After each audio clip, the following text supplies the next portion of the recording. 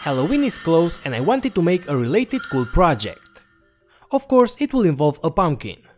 But to make it last longer, I've made a 3D printed one. So after I made a simple design and divided it in a few parts, 3D printed and give it a paint job, I had a cool looking plastic pumpkin. But I wanted to add some electronics, of course.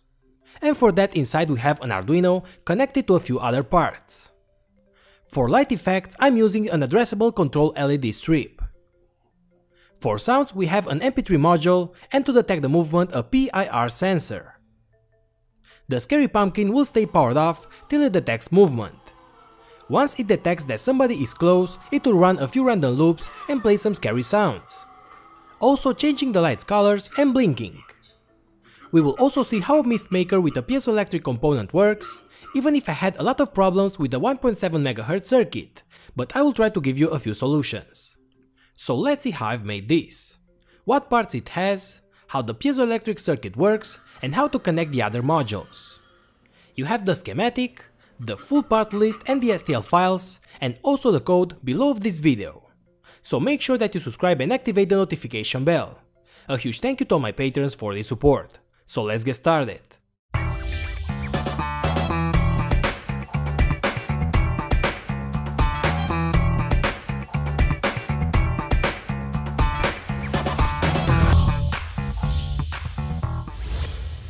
This video is sponsored by JLC PCB. They now have an SMT service, meaning that you could get the PCBs with all the components already mounted. You could get really nice results for your PCB projects and receive the board with all the components. Go to JLC PCB and select Quote Now for the SMT assembly. Upload the Gerber files of the PCB. Then check Assemble your PCB and select the PCB side. On the next page upload the BOM and the pick and place files. Finally, confirm the components you want to solder on your PCB and place your order starting from only $7. What's up my friends, welcome back. Let's start with a quick part list and see what we need to make this project. Go below and download the STL files for the pumpkin. We have three parts for the main body, and we also have a small water tank that I want to use with the piezoelectric component and create some sort of mist we will need a few addressable LEDs from this kind of LED strip with the WS2812 driver. In this way we could control each color and LED separately.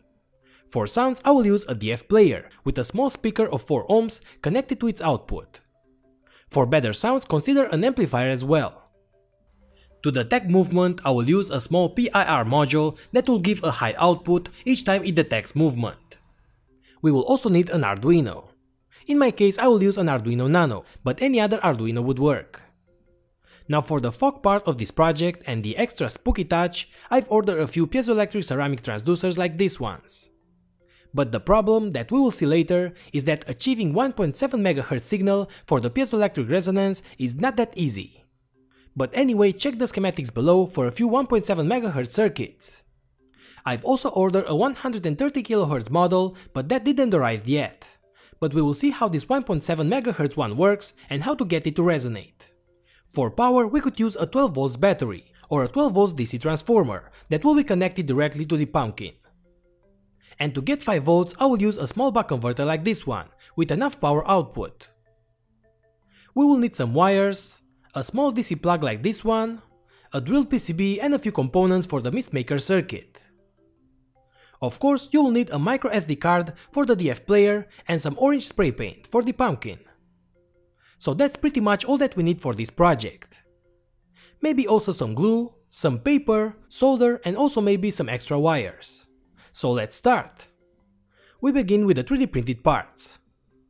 I've printed these parts with PLA material, 20% infill, 2 perimeters and a 0.4mm nozzle and took me around 7 hours using 3 printers at the same time.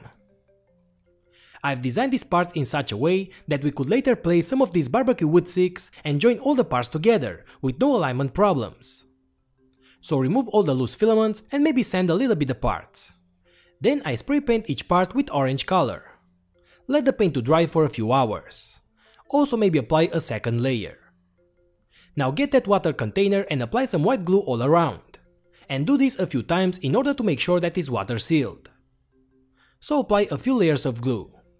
Then we can glue this part on the bottom part of the pumpkin, just in front of the mouth. Add some wood sticks in the top holes of the middle part of the pumpkin. Now I glue the top and middle parts together and if needed, I apply another layer of paint. For the other two parts, we will merge these parts together after we install the electronics. So I will place the first 4 LEDs on the bottom part like this. Now you should cut two pieces of white paper. Now glue those on the back of each eye so now the light will be a little bit more diffused. Now I make some small cup-shaped parts with some white paper. Then I glue one LED inside of each like this, with some thin wires as well. Now I glue these parts on the back of the eye like this. In this way, we could control each eye separately and by that control the color or turn the LED on and off. Now on a small PCB I solder the DF player, with some 1K resistors and some jumpers for the RX and TX pins. Also wires for the power and for the speaker. Connect the speaker as in the schematic. Now go below and download the mp3 folder with the spooky sounds and copy that to the microSD card. Insert the card in the DF player and make the connections to the Arduino as in the schematic. I finally changed the speaker to a bigger one for better sounds. Now connect wires from the DC jack to the buck converter module. Connect 12 volts at the input and make sure that the output from the buck converter is set to 5 volts, and then you can glue the potentiometer. Now power off the converter and solder it to the 5 volts input of the Arduino. Then glue the DC plug on the back of the bottom part of the pumpkin so we could power it with the DC transformer. Now I glue everything in place on the bottom part of the pumpkin and also make connections to the LEDs from the top part. Then I glue the PIR sensor on the top part of the pumpkin and connect the wires to the Arduino as well. We will later give a better look to the entire pumpkin. Okay guys, now for the piezoelectric circuit. Let's first make some tests and tell you what is wrong. This particular piezoelectric component will resonate at exactly 1.7 MHz. That vibration will be fast enough to create a void and pulverize water into very fine mist. But getting 1.7 MHz is not that easy. I connect a simple circuit that you could find below to my function generator, and I apply exactly 1.7 MHz. The piezoelectric will also need higher voltage. So for that we have this MOSFET and this coil that will create higher voltage oscillations. I supply the circuit with 15 volts. Now I connect the piezoelectric component and place it into a little bit of water. And as you can see we could create water mist with it, and the effect is pretty cool. But if I change the frequency a little bit below or above 1.7 MHz, it won't resonate anymore and no more mist will be created. Also as you can see the applied voltage from the inductor can reach up to 70 volts, even if the input is only 15 volts. I tried getting the 1.7 MHz with a small circuit, but that didn't work. Also I found a code with the Arduino that creates such a signal. As you can see we can get around 1.7 MHz, but the voltage is too low. The MOSFETs and the BJT transistors that I have won't work at this speed. So look what happens to the output of this transistor when I increase the frequency. We start with a good signal, and above 1 MHz the signal doesn't have time to rise and fall and the voltage will drop, and then we lose the signal. I've tried high-speed comparators, or Schmitt triggers, but that didn't work neither. I will also leave a link below for 1.7 MHz circuit but made with a crystal oscillator, but I don't have that crystal right now. My solution was to order the 113 kHz circuit and the piezoelectric resonator, but till I receive it, I've soldered the oscillation circuit on a small PCB and the 1.7 MHz piezoelectric as well. Then I glue the resonator on the water container inside of the pumpkin and paste the wires on the back, and now will apply a 1.7 MHz signal for my generator just to show you an example. As you can see, it works quite well with the 1.7 MHz from the function generator. Ok, so now upload the code to the Arduino. Go below and download and read each line in order to understand what we do. Give a test before you glue close the pumpkin case. As you can see, when there is no movement, the pumpkin will be powered off, and waiting to scare somebody. But when I move in front of it, it will do stuff. The sounds and the flashy things it will do are random selected in the code. Once I tested that the code works, the detection works as well, the LEDs will light up and the sound will play, I can now close the pumpkin. So finally I add another barbecue wood stick and glue the top side of the pumpkin as well. So now I power up the system with 12 volts DC transformer and give the final test.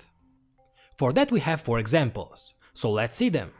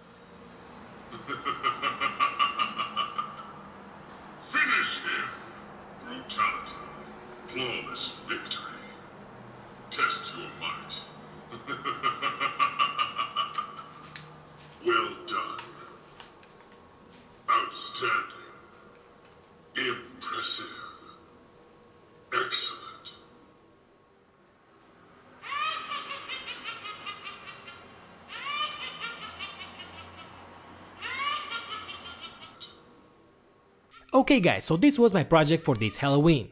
I hope you like it, and if so, give a like to this video. Also make sure that you subscribe and activate the notification bell. Consider supporting my projects on Patreon. So thanks again and see you later guys.